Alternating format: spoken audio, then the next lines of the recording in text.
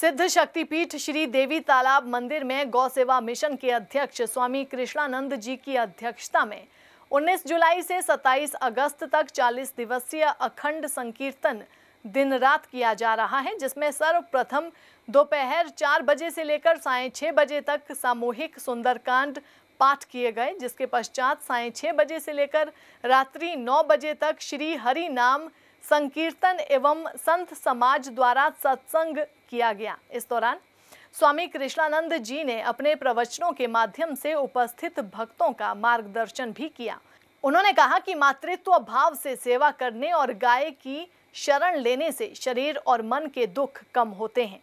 सनातन धर्म में हर घर में गाय होनी चाहिए। इस मौके पर असंख्य भक्तजन मौजूद रहे। जालंधर से हलचल के लिए कैमरामैन प्रभजोत सिंह के साथ कुश चावला की रिपोर्ट। एक बारी परमात्मा आयु निर्धारित कर रहे थे। भाई, जिसको जितनी आयु चाहिए, ले जाओ। तो मानव बोला, महाराज 20 वर्ष काफ़ी है। इसी में मैं अपना जीवन यापन करूँगा। इधर, जब मृत्यु लोक में आया, जब वह 20 वर्ष का हुआ, पैदा हुआ, थोड़े संस्कार सीखे विद्याध्ययन किया। जब शादी का समय होने को आया तो तुरंत मृत्यु को प्राप्त होने लगा। क्योंकि 20 वर्ष ही आयु मांग के लाया है। तुरंत दौड़ा, क्योंकि हमारे पास में अन्य योनियों की अपेक्षा एक बुद्धि भगवान ने विशेष दी है। इसलिए हम मानव मनुष्य कहलाते हैं। यह योनि चौरासी लाख योनि में सबसे श्रेष्ठ योनि है। बाकी भोग पदार्थ आदि तो अन्य योनियों में भी हैं। तो तुरंत मानव दौड़ता हुआ ब्रह्मा जी के पास में गया कि महाराज,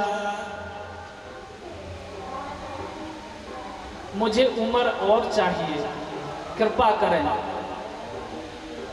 ब्रह्मा जी बोले कि जब मैं आयु निर्धारित किया, बांट रहा था, तब तो आप बीस ही लेके गए। तो एक बैल परेशान होकर के आ रहा था उसी समय। महाराज, मेरी उम्र ज़्यादा कर दी है आपने। मैं कम चाहता हूँ। ब्रह्मा जी बोले, देखो, ये लालची मनुष्य आया हुआ है। इसको दे दे। बैल बोला महाराज मेरी 20 वर्ष आयु कम कर दीजिए। बोलिए जय गौ माता तो मनुष्य 20 वर्ष बैल की आयु लेकर के इस भूमंडल पर आया।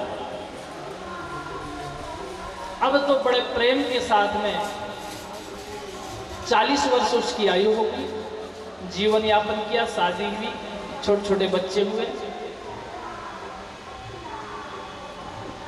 फिर उसका देहांत हो गया। राम जय राम।